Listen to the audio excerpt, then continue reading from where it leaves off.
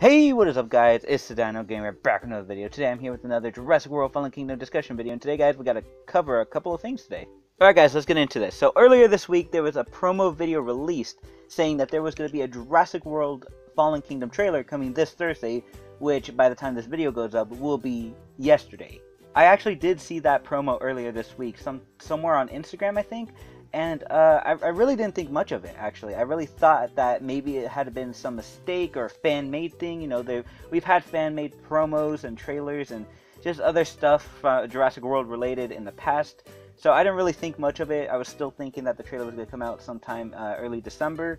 Turns out guys it ended up being a false alarm. The trailer is actually not coming out today um, or yesterday uh, by the time this video goes up but trust me, there would have been a lot more hype, guys. I would have been way more excited, and I actually would have known, I'm pretty sure, because I usually check Jurassic Outpost, which is a really reliable website that uploads um, anything Jurassic World related, uh, any updates that are coming out for the upcoming film Jurassic World Fallen Kingdom.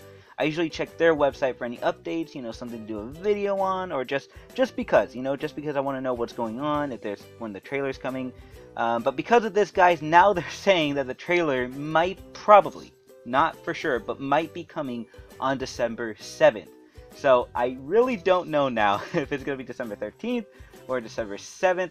The dates just keep changing. At first I thought it was going to be later November. Now they're saying December 13th. Then they said November 30th, and now they're saying December 7th. So I don't know anymore, guys. Uh, the trailer could literally come out any day between now and December 13th. I don't know. So let's hope this date sticks so we could stick with our, you know, little uh, little goal on my channel to reach 400 subscribers. So basically, it's not even 400 subscribers between now and December 13th, or any time in December. It's going to be between now and whenever the trailer comes out. So, um, so hopefully we can reach that goal. You know, show my face, get that over with. And if we can't, then oh well. I guess we'll just save that, save the face reveal for a bigger goal then. But anyways, guys, that's pretty much it for that. So let's go on to uh, the next part of these uh, this video.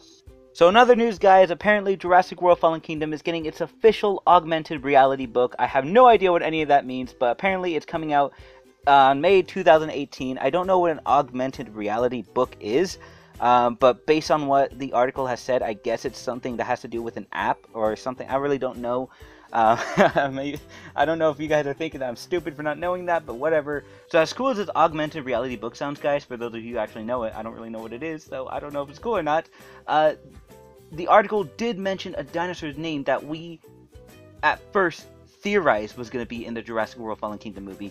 Now that it mentioned its name in this article, we are actually thinking that it's now going to be in the movie. I'm going to read you guys a short uh, little section from the article. So here it is. Carlton's official augmented reality book is jam packed with exclusive movie imagery and background facts and lets you experience original Jurassic World dinosaurs through mind blowing next generation fully interactive digital magic. Learn how to bond with and train Alpha Velociraptor Blue, then use her as your predator and guide as you encounter other dinosaurs through the app. From brand new movie dinosaur characters, including awesome baryonyx and terrifying new hybrid breed to old favorites like T Rex and Stegosaurus, this Jurassic World AR book will wow readers all over again. So not only did they mention the baryonyx, they also mentioned a terrifying new hybrid breed. So, and I'm guessing they're talking about Indoraptor. So I mean, I can't think of any other new dinosaur hybrid that we've talked about on this channel other than the Indoraptor. Um, so I'm, I'm guessing, guys, it's official. The Baryonyx and the Indoraptor have officially been added to the Jurassic World Park franchise. but if you guys think it's fake, then that's your opinion. I, I think it literally says it right here. From brand new movie dinosaur characters, including awesome baryonyx, and other terrifying new breed, hybrid breed, whatever the fuck it says.